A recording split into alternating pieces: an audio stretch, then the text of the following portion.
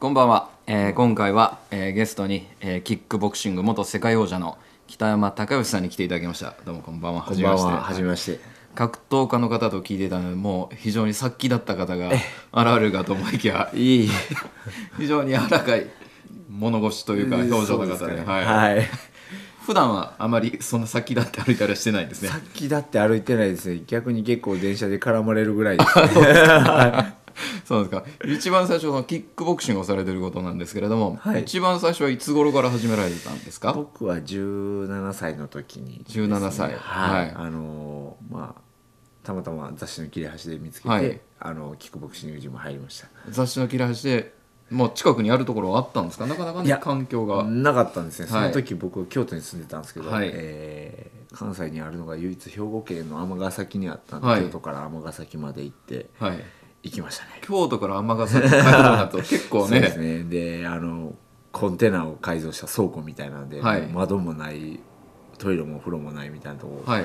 ガラガラガラって開けて「失礼します!って」何回も行き来したんですけどね。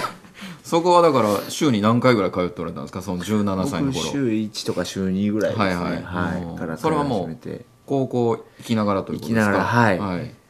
うんそこでもう週何回か続けながら。でも最初そのモチベーションがその切れ端見ただけでねなかなかその毎週何日も通おうとまではそうですね、はい。最初はなんかあのねまあやってるぞみたいなのが欲しかったから、まあまあ周りがねすごいあの僕高校が定時制高校やったんで、はい。あんまりそのちゃんとしたクラブ活動みたいなのがなかったんで、うん。だからあのまあ他がねあのいろんなどう同じ時期に卒業した中学校のコーラとかはい。がクラブやってるのを見て、まあなんかやりたいなと思って、はい。うん、やけどあんまりねやっぱり周りがみんなサッカーとか野球はみんなやってるじゃないですか。そうですねはい。でも周りやってへんやつなんかな思ってああ 人とは違うの違言ったろう違う違うの言ったろう思って。それはもうちっちゃい頃からそういうメンタルだったんですかね？その人と違うことをやりたないんか結構なんかね、はい。あのまあほとんどあの父親と母親が結構ねあの、はい。い、ろんなさことをさせるの好きやったんで、はい。まあ、いろんな習い事したんですけど、はい。やっぱり周りがやってることが多かったんで、あー例えばどんなことをまあサッカーとかサッカーしたり。ソフトボールとか、はい。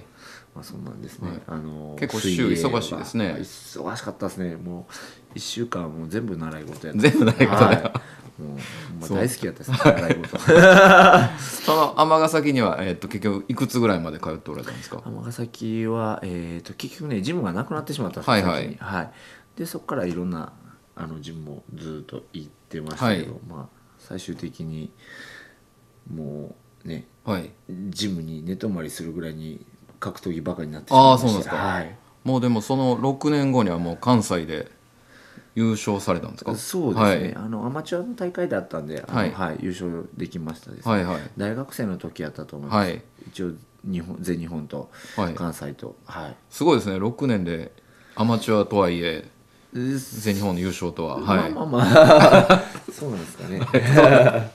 でその後はどういう経緯をたどられたんですか？そのアマチュアで優勝されて MVP も取ってはい。ということになるとそこからはそこから僕は、はい。えー、となぜか、えーとまあ、大学生のちょうど4回3回はいはい。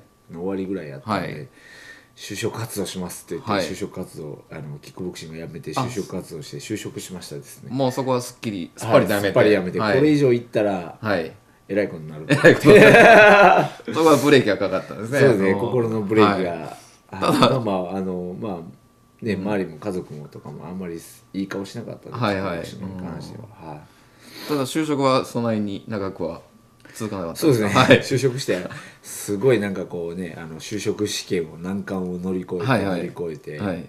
就職しておっはいしゃーって、その時何の仕事をされておられその時は旅行会社か旅行会社で。はい。あのねはい。やってみたんですけど、まあ、意外にね、はい。そんなにすごいやった感がなくて就職も、はいはい。うん。すっごい残業はい。めちゃめはい、全然そんなね日にち変わって帰るの当たり前だったんで、はいはい。うん、すごいやりがいあるやろうなと思ったんですけどあれ？みたいな。そんな生活の中でまたポッと火がつくわけですか？そうですね、はい。これはちょっともう一回やろうかな思って。それは何かきっかけあったわけではなくちょっとやはり就職してもあまりこ自分を充足させるものがなかったんでなすかね？かったですね、うん。でまあまあその知り合いがあの、はい。まあジムをやると。あそう手伝ってくれへんか言われて、じそこでまあコーチ指導なりしなですね。指導しながら、はまあ、あの指導やります言って手伝い始めて、い、はい、そうこうしてた時に、はい。まあ、同じそこの選手がはい。怪我したんですよね。はいはい。で怪我して、いまあ、一緒にやってたそのはい指導してる先輩なんですけど、怪我されてで「ちょ代わりに出るやつおらへん」と「穴も出られへん」と。はい。試合にね。行けと、は 行けと言われたんが、はい。ちょうど25歳の誕生日やったっすね、はいはい。誕生日の日に、はいプロデビュー戦あプロデビュー戦だった。んですかはい。いきなりデビュー戦でメインやって。素晴らしい。メインを張って。はいはい。日本日本ランカはいはい。ーやって、おっしゃやったろってはいはい。思って行ったらものの見事に KO されました、ものの見事に。秒殺でした、それ1ラウンド。1ラウンドで、はい、KO ですか？はい。あもう秒殺されました。瞬殺ですね。そうですか？それはもう相当そこは実力の差がやはり。そうですね。悔しはいかったっすね。ただまあその学生の頃はもう全日本アマチュアで優勝してというやはりね。はいプライドもありますし。そうですね、ん。でああやめんのかなと思って、はい。いやいやいやここでやめたら、はい。ね、今まで習い事のうちの一個に。あそうですね。なってしまう。他の習い事と一緒になると。他の、あのねやっぱりほら見たことかと周りに言われると、はいはい。反対して反対され続けてやり続けて、ねそこでまたモチベーションはい でもそこは逆に良かったのかもしれませんね。そうなんですかね、はい。うん。まあ逆にそのまあ基本的に反対してたのはあの、はい。父親母親なんですけど、はい。うん。まあチャンピオンになった頃にはねあの、はい。い、や何言ってんの？俺はずっと応援してたでぐらいになってました。陰ながら応援してたんでね。はい、ずっと心の中で俺は応援してたみたいな。まあそれね外に出してほしかったそうですね試合か会場にもちょくちょく来る来てくれるようになりました、ああそうですか、はい。じゃあそこで最初プロデビュー戦はまあ1ラウンドで KO 負けして、はい。でそこからまたトレーニングの日々が再開されたんですかね。そうですね。うん。もう自分にねその時は寝泊まりしてたんで、もうほぼ毎日練習でしたね実際そのトレーニングの際っていうのはどんなスケジュールなんですか？例えば朝起きてはい、はい。朝起きて大体走って走ってはい、それは食事の前に走るんですかね？まあ食事の前に走ってましたねはいはい。うん。でパパって飯食って、はい。仕事行ってみたはい。いな感じです、あそうですね。その時も仕事ははい。で帰ってきて、なんですよね。はい。ちょっと、えーまた走ってみたいな感じですね、はいうん。で練習して。うん、で教えて、はい。で練習してみたいな感じ。でその毎日を繰り返すと、はい。うん。やっぱりその走るってことは重要なんですかね？大事ですね、うん。走ってないともう全然ダメです。それはスタミナという点ですスかタミナも、はい。まあスタミナもそうなんですけど、はい。足腰がね、はい。全然しっかりしないんですよね。蹴った時にそのはい。地面に立ってる感がしないですよね。ああガンって打った時に、はい。足がしっかり立ってないんではい。自分がその攻撃で自分がバランス崩れてるようはない。感じになります。その安定感をそうですね。作るために、はい。思いっきり殴っても自分が飛ばされてる感じがする。はいはい。走ってなかったら、うん。はい。それは実際はその例えばそのダッシュをするとか長い距離を走るとか、そういう走り方だとちょっと細かい話になりますが。そうですね。まあもうほんまに難しく言うと、まあはい。長い距離走るのと短い距離走るのと完全に分けてましたけどね、あはい。あじゃあ側筋もチキンも両方。そう長い距離ゆっくり走るのと、はい短い距離全速力でガはい。ーッ走るのと、もうくったくたになるのとはい。やってましたけど、うん。僕ははい。短い距離を全速力で走れって言われるの大嫌いや大嫌いですか 長い距離の方がまだ。すごいです。ぼーっとしてもう何も考えずに。長い距離を走る方がまだいいですか。走ってるのがすごい好きでしたね。そうですか、うん。でその生活の中でまたねどんどんこれからまた勝ち上がっていくわけですねはい。そうですね。はい。なんとか、はい、勝ち上がってはい。はい。なんとかチャンピオンまで行きましたけど。すごいですね。その、えー、とそれは日本王座になって、はい。でその後、えー世界のウェルター級ということそうですね。かねはい、はい。うん、それはもう初めての挑戦で？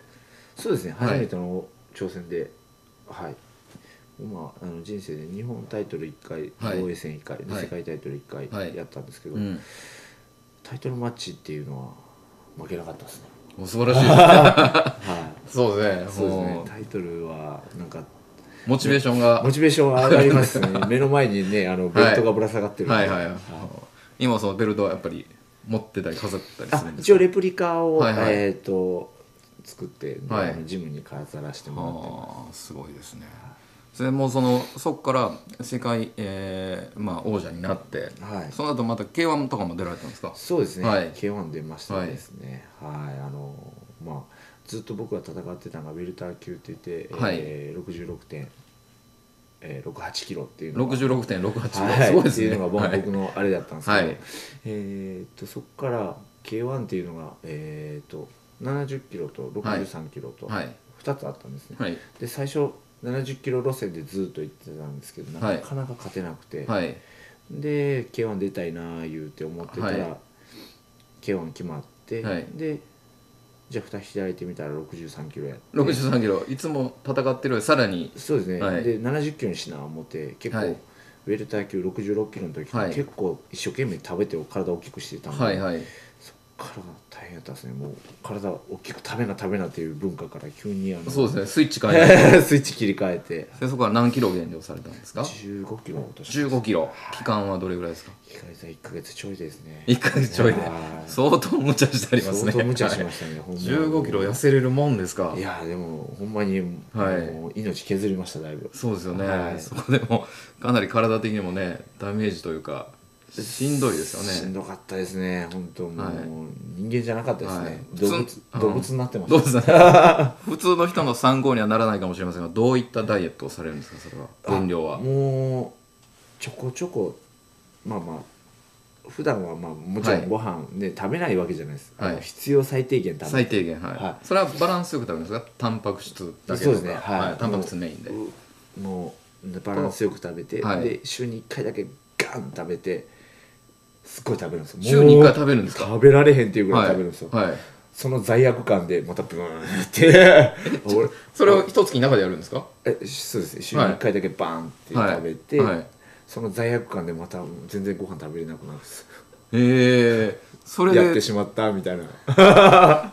あそれはあの罪悪感もわざわざ織り込み済みということですね。織り込み済済みでそれで月に1 5キロ。はい。すごいですね。もう相当走ったりト相走りましたし、はい。相当練習しましたしね。もう常に汗汗ばっかりかくことばっかり考えて、うん。もう出す体からね水分を出すこと、水分を出すこと、はい。もうほんまに最後の方はサウナに住もうかなっていうぐらいサウナにサウナ入ってましたか？入ってましたね。すごいですね。布団持っていこうかなって思うぐらいほんまに、はい。ましたですね。すごいですね。せあれは計量がまあ終わって計量無事終わったらその後は食べていいんですか？試合までは、はい、食べてよかったです、ただあの計量って2回あるんですよ。予備計量と本計量、はいはい。2回あって、はい。予備計量ぴったりやったんですよ。いや計量ぴったりだ。はい。ぴったりおっしゃやったと思ってはい。僕ガム噛んでたんですよね、はい。まあ、自分の唾やし、はいまあ喉乾くしはいはいと思って、ガム噛んどこうと思って本計量の時にオーバーしてね。あ。いやガムで増えることはないです。多分、はい。測りがね古かったんやと思う。んですよ測りが悪かった。はい。そのずーっとあのなんですかねほんまですか？みんながぴったりやったら、はい。はい測りがこの触れないですよね。たまたま、はいはその僕の前の人がオーバーしたんですよ。あオーバーそっからオーバーみんなオーバーしていって。ああ みんなそうですまあ測りがまあパッカンっていうのがはい。あったら普通物理的にねそんな増えませんからね。そうですね。はい、でそこからどう減らしちゃったんですか？いやでもう予備計量。はい。もう今からそのまあ多分 200, 200オーバーやったんですよね、はいはい。200オーバーしっていうのをはい言われても僕もカリカリやったんでカツカツの状態からの200ですからね。絶対無理やと思ってはい、その場でパンツ脱ぎますって言ってパンツ脱ぎました。はい、はい。パンツそんな重ないことないですか？いや僕ね、はい。ちょっとねバカなんではい。ちょっとあの2枚パンツ履いてたんですよ。2枚パンツ？1枚パンツ計量の時にはい。オーバーして、はい。パンツ脱いで、はい。ちょっと可愛いパンツ履いてはいはいそれ面白いかなと思ってはいはい。それ脱いだらちょうどパスするっていうめっちゃ面白いこと考えたんですけど。すけど。結局どう考えても2枚とも脱がないとはいはい無理だということで。2枚ともズベッていったたらセーフ。そうセーフだったんですけどうん周りにめっちゃ怒られましたね、っていうのはあの、はい。全世界にネット配信されてたんです。あやはり K1 の計量ははい。全世界にネットはい配信カメラバンバン入ってたんで、はい。めちゃめちゃ怒られましたねもうこれもうボカシル手間かかるとか。ぼもう生中継でした生中継ですか？はいもうめっちゃ怒られましそれはまあ各方面から怒られますたよね。各方面から怒られて。友達から笑われ友ますしね達から、はい。あのみんなネットで見てたから、はい。はい。友達からはあの僕の計量の時だけはい。北山選手どうぞって言われた瞬間天井映ってたね カメラもねずっと天井してくれてになってて僕の北山選手パスしましたっていう声だけが響いてたらしい。だったらいいですね。何があったのみたいな感じで言われました、それ K1 でもまだこれ勝利されてそそんなこんなんもありながら。そんなこんなもはいありながら はい。すごいですね。今もトレーニングはずっと？そうですね。はい、はい。ずっとやってます、はい。うん、まあまああの全然あの、はい。やっぱりね体も動かさないといけないはい。はい。でやっぱりあの気抜いたらすぐ太っちゃうんではい。今ね女性の人にボクササイズとか結構教えてるんですけど、先生太ってるねって言われたらちょっとああそれ確かにねそうですね。悪いんではい、なるべく、医者がよくタバコ吸いながら禁煙してくださいとかいうようなもんですね。あはあそれです、いそれもね、結構多いですね。それ。それですね。はい。そうですか。今はそのキックボクシングそのジムをやっておられるんですかね。はいそうです。はい。はい、えっ、と神戸市三、えーの中央区で神戸市の中国はい、はい、えっ、と阪急春日の道っていうところ。春日の新神戸のそうですね。近くですね。新神戸と春日の道の間ぐらいで、はいはいはいはい、うん。えー、とジムを、えー、と店舗を借りまして、はい。はい。えーこの9月23日から。おもうオープンしたてというかまあです。そこは常設のジムということ常設ですね、はい、はい。今まで集会場借りてやってたんですけど、もうちょっといろいろあのねあの借りたり借りれなかったりとかっていろいろあったんで、はい。もうここは行ってしまおうと思って。はい。はい、名前がブラフレイとブラフレイです。はい。BLAFREY そうです。ちょっと変わったスペルで英そうですね。語的にははいみんないろいろはい。なんかね、やっぱりあの教え子とかコールの時にブラフリーとか呼ばれたりとかはいろいろあるんですけど、はい。はい。これになりました。はい。これは何か意味は？なんかねあのはい。スペイン語でなんか、はい。あのブラが、えー、とスウェーデン語や、はいはい。えースウェーデン語で、えーブラが、えー、となんかブルー。ブルー。はい、はい。まあ、僕はメインがブルーカラーやったブルーカラー挑戦者の色やったんで、ブルー。でフレイがなんかちょっと豊穣の神様みたいなはいはい。名前やったんですけど、はい。僕全然ちょっと意味がわもうはい。全然わからんくて、で、はい。まあ、ブルーフレームやと思ってたんですよ青い炎ですね。青い炎やと思ってたんで、まああのブラフレーにしようみたいな感じで、まああの会員さんたちもみんな多数決で、はい。はい、あの決まってはい。まあイメージはでも青い炎ってどれがいいみたいはな候補がいっぱい上がったうちのブラフレーっていうみんなこれがいいっていう。候補はいくつかあったんですか？候補いっぱいありますおしゃれなあのはい。あのキックボクシングジム多い膝っていう。多い 多いお茶に対抗して多い膝っていうのがあったんですけどお茶に対抗する必要あったはいいんですかね。やいや もう僕ねそれになったら逆にもう危なかったです。ほんまですねちょっとあのコメントしづらいですねそれね。大石じゃなくてよかったです。今じゃあもういろんな方に教えもう老若男女問わずということになるんですかね。はい。おいくつからおいくつぐらいまで教えておられるんですか、4歳ぐらいからですね、で4歳。はい、えー、一番上が60近い方まで。はいはい。教えてます4歳児というとなかなかどんな感じで教えるんですかね？どうもうまず日本語が通じないんで 教える親御さんのモチベーション本人希望なんですかね？いや本人が希望って言ってますです、ね、本人がキックボクシングをキックボクシングを。始めたいと。は始めたいと言って親は連れてきてま4す、ね、歳だけど大丈夫かみたいな。はい、大丈夫ですかという感じで言っても預かりますと。はい。はい。それでそういった方から。もう他も例えばそのキックボクシングを本格的にやる人もいるし例えばそのボクササイズ的なそうですね。はい。ダイエットなりそういったこともやってるんですかねそうですね、ん。はい。まあ、あのキックボクシング僕はあの、まあ、そういう減量とかねそういうのはい。に隣,、隣り合わせだったのと、はい。でまあ、僕の人生もだいぶそのキックボクシングをやったことによっていいふうにだいぶ変わったなと、うん。自分の中では思ってたんですけど、はいはい。結構いじめられっ子やったりとかしたので。そうい、はい。うん。まあ、そういうののねあのキックボクシング格闘技っていう、まあ、単純に考えたら野蛮で、うん。で、まあね、あの汗臭くて汚らしくてっていうようなイメージですけども、まあ綺麗なジムで。でそういうふうに格闘技っていうのを、えーすることによって、まあ、いろんな人がいろんないい方向に行ってくれたらなっていうようなことを、はい。はいまあ、教えていけたらなというか、はい。それはもう健康面だけではなくてもそう精ね。神面もということあですかったりとか、うん。まあ、特にねジュニアとかはいつも言ってるんですけど、大きい声で返事するようにとか、はいはい。ね、靴ちゃんと揃えるようにとか、はい。お母さんの言うことちゃんと聞くようにとか、あそれはいいですね。いい生活しようとはい、そういうふうなのをメインに教えてるんで、はい。まあ、親御さんもその辺を期待されて預けていただいてるんだろうなという感じですね。しかもね強い先生から言われたら子供はやっぱり言うこと聞きますからね。じゃあそれが言うこと聞かないですね。もうはちゃめちゃですね。はちゃめちゃですか。あーほんまにすごいなと思う。こうも言うこと聞かへんから。ああそうですか。怒ってるのすら分かってないんちゃうかなっていうぐらい、先生が戦ってるのを見る機会とかあんまりないんですかね。そうですね、まあうん。みんなあの僕はねもともと戦ってたっていうのあまり記憶ないかも。もう知らないと知らないと思うんで、はいはい、はい。まあ、実際にその人が今その会員さん集まってきてますけど、はい。僕す去年の4月、はい。で2012年の4月にはい。引退したんですね、はい。2012年に4月に引退した時は会員が10人ぐらいしかいなかったので、はいはい。もうほとんど知らないですねああそうですか。今のいる会員さんは僕がリングに上がってたという。上がってた、ははい。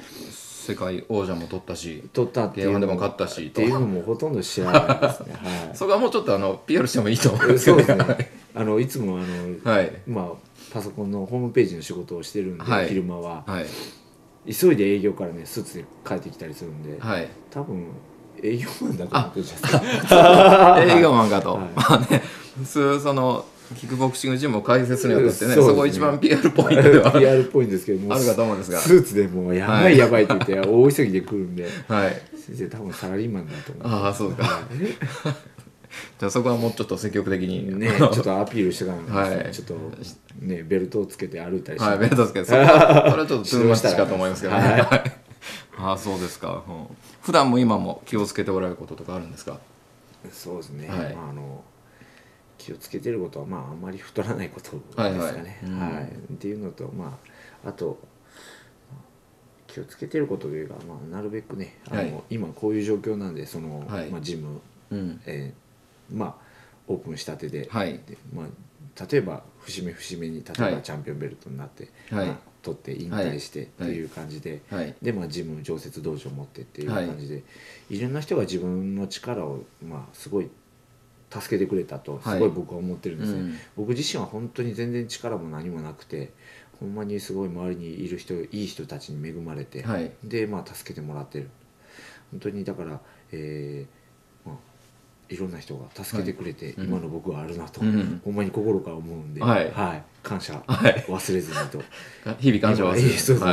はい、今自分がここにあるのは絶対誰かのおかげだと思ってます、はい。うんはい。もうそれをもう そうです。生活しておるわけですね。すね。ははい。い、もうそういうのはねあの、うんまあ、教え子たちにもどんどはい。ん教えていきたいなと、あの、はい。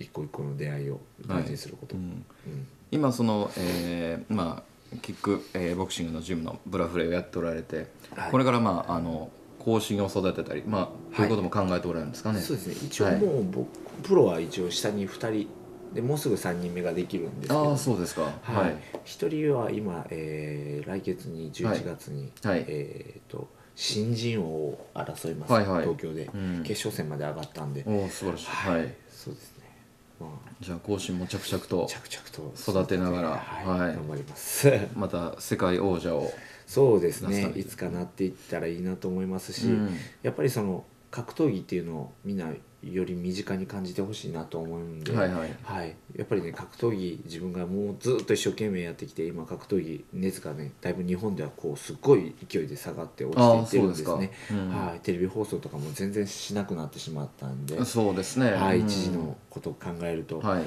て考えるとやっぱりその格闘技っていうのはい。を忘れされていく、競技っていうのはなくなっていくっていうのはすごいね、あの何としても防がないといけないんで、はい。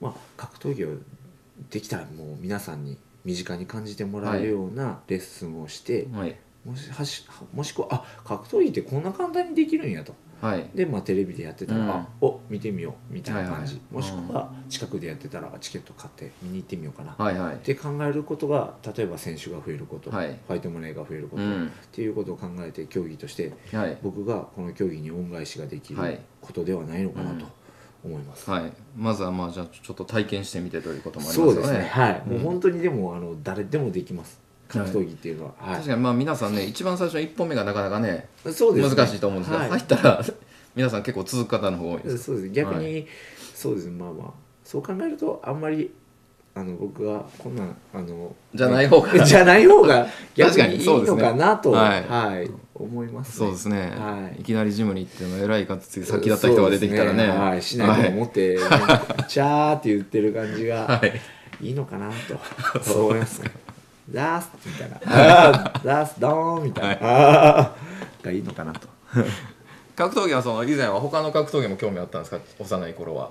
幼い頃は、い、はい。や格闘技自身は僕は全然あのキックボクシングしかなぜか興味なかったああそうなんですか、はいちゃい頃でしたらね。プロレス放送とかいろいろ。ああそうですね。でも、はいタイガーマスクは好きでしたね。はい。初代のタイガーマスク初代大好きでしたね、あでもの金曜日夜やってましたね。よく。はい。あれはよく見てましたですね、新日やってましたね。はい。すごいなすごいなと思って。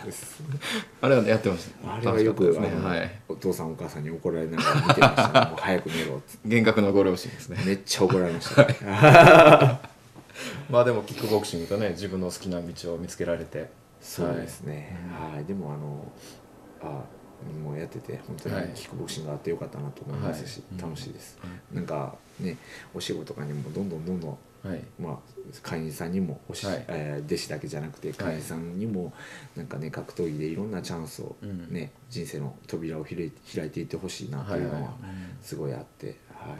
そのある程度その年齢が上がっても、はい。このキックボクシングその健康面ではどういういいところがあると思われますか、まあ、まずはダイエットです、ね。ダイエット。はい、うん。まあもうこんだけ動くんで、はい。あのまあ、汗かかないわけはないんですよ、はいはい。うん。もう汗びっしょびしょになって帰ってもらうし、でそれに関してあストレス、はい。あ俺やったと。あストレス解消にも確かになりそうですね。もう思いっはい。きりパンチ打つんで、はい。ああすっきりしたって言って帰ってもらえるのなかなか大人になるとそういう機会ないですよね。ないですね。物なくてスッキリするとかね。はいすっきりするまあでもねモヤモヤをためて帰ってもらうよりはねすっはいはい。きりしたと、はじゃあ今度すっきりした時にいや何か目標立てようと、はいはい。で例えばまあ減量であったり、うん。例えばそのもっとねボクササイズじゃなくて上のクラスに行ってみようとか、はいはたまた試合に出てみようと。かはい。っていうようなこういう感じになっていってくるととちょっと僕もほんまにあ、はい。この仕事やっててよかったよかったとよ、うん。はい、もうね、おさん自身がその何か自分の力ではい。格闘技を通して変えていってくれるっていうのを、うん。姿を近くで見るのはすごい幸せですね。はい、もう指導者冥利に尽きるというか。ほんまにそうです。あうん。このこの仕事やっててよかったなと。はい。うん、なそうですか。ねまたじゃあ皆さんブラフレイに ご参加ください。そうですね。ははい。い、僕があの、はい。チャースみたいな感じで。出てくるんで、チャースみたいな。はあい、もう多分ね皆さんあの最初に会ったらねあのどの方がこのラジオで喋っておられたらチャンプなのか。わからないという感じかもしれませんが、はい。そうですね。はい。非常に柔らかな笑顔の 方ですので、はい。皆さんぜひ一度行ってください。僕も機会があれば行きたいんですがなかなかハードルが最初高いかなと思うんですが、まあじゃあ、はい。あのはい、来ます。指導ですか？はい。はい。そんなのもあるんですか？いや特別に。わかりました。やります。わかりました。はい、本初めて。はい、ありがとうございます、はい。ミット持ってきます。怖いな。何を準備しておけばいいですかね？絆創膏ぐらい。いや、もうそんなんは大丈夫です。わかりました、はい。そしたらじゃあ皆さんもぜひね格闘技を通じて、はい。メンタルね肉体をね。はい、ぜひはい。よろしくお願いします。ありがとうございました、えーはい今回のゲストは、えーキックボクシング元世界王者の、えー北山隆義さんでしたどうもありがとうございましたありがとうございました。